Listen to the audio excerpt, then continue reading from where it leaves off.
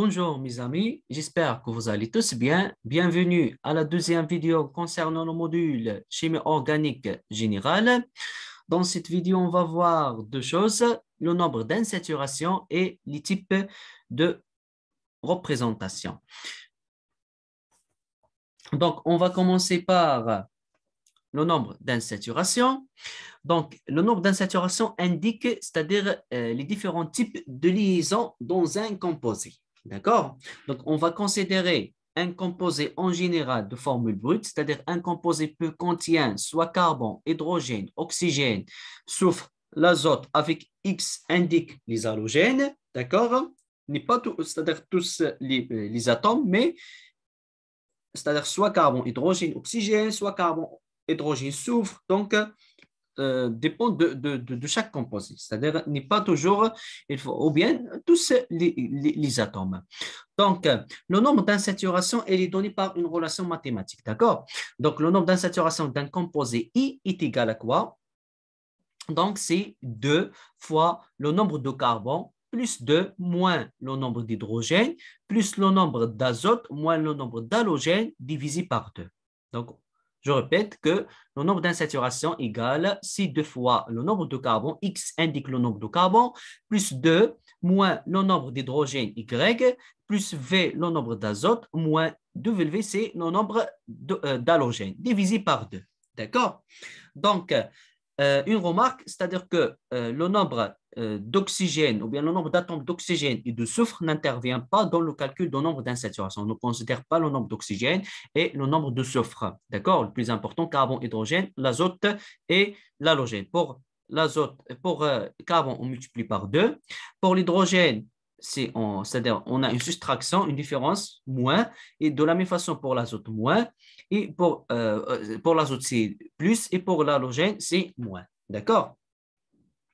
Donc, on a si par exemple le nombre d'insaturations est égal à 0, le composé dans ce cas contient que des simples liaisons. D'accord? C'est-à-dire le composé, il est saturé dans ce cas. On dit que le composé, il est saturé, il n'y a que des liaisons sigma. Si par exemple le nombre d'insaturations est égal à 1, le composé, euh, dans ce cas, contient soit une double liaison, soit un cycle. D'accord? Et pour euh, formation d'un cycle, c'est-à-dire à partir de trois atomes de carbone, on parle d'un cycle. Donc, le plus important, c'est on a, c'est on calcule le nombre d'insaturations. On trouve que le nombre d'insaturations est égal à 1. Dans ce cas, euh, le composé soit contient une double liaison, soit un cycle. Si par exemple, on a calculé le nombre d'insaturations, on a trouvé que le nombre d'insaturations est égal à 2, donc le composé, dans ce cas, on a plusieurs cas, soit le composé contient deux, deux doubles liaisons, ou bien deux cycles, ou, c'est-à-dire n'est pas I, c'est-à-dire ou. Donc, soit deux doubles liaisons, ou bien deux cycles, ou bien une double liaison et cycle, ou bien une triple liaison. C'est-à-dire on a plusieurs donc, un exemple, donc on va donner des exemples simples. Donc, on va considérer l'éthane C2H6.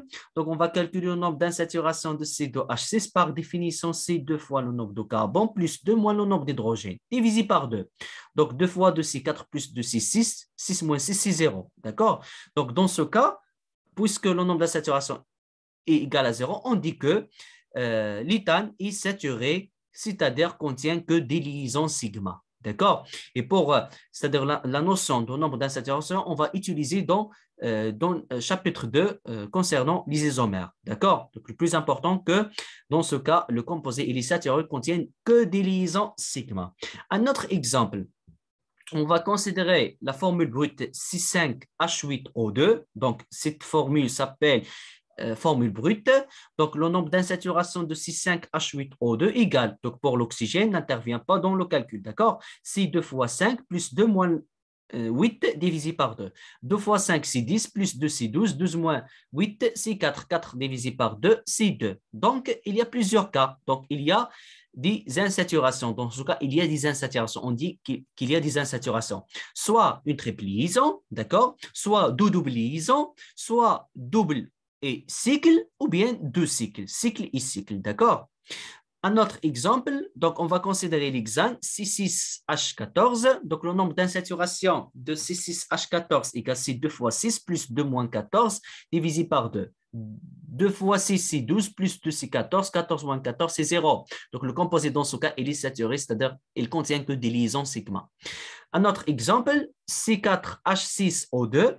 Donc, c'est de la même façon, c'est 2 fois 4 plus 2 moins 6. Et pour l'oxygène n'intervient pendant le calcul, on trouve le nombre d'insaturations est égal à 2, c'est-à-dire comme euh, le cas précédent, c'est-à-dire plusieurs, euh, euh, plusieurs cas. D'accord? Plusieurs hypothèses. Donc, un exemple simple, c'est-à-dire euh, comment on utilise, c'est-à-dire le nombre d'insaturations. Donc, pour CO2, euh, c'est-à-dire en connaître la géométrie de CO2.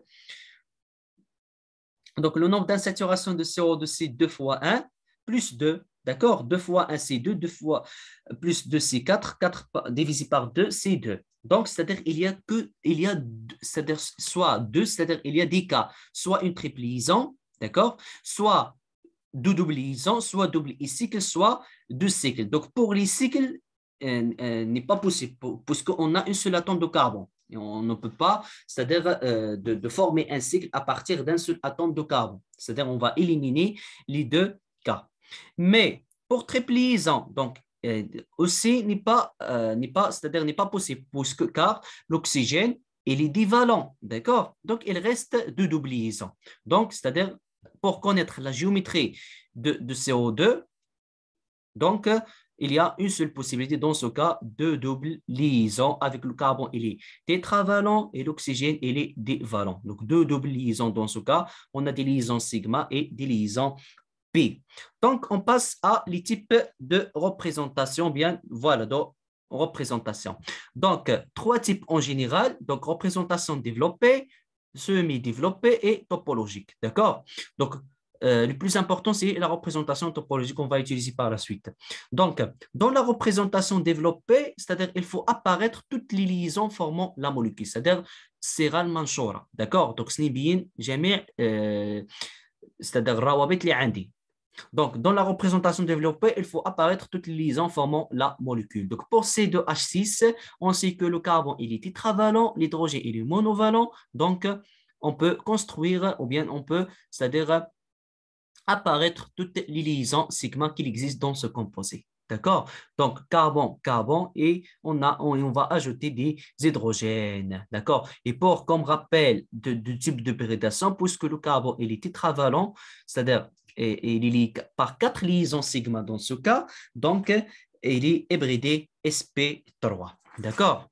Donc, un autre exemple pour C2H4, de la même façon, il faut apparaître toutes les liaisons forment la molécule, soit carbone avec l'hydrogène ou bien carbone avec d'autres atomes. D'accord? Et pour l'hybridation de cet euh, atome de carbone, dans ce cas, il est sp2 car de type AX3. D'accord?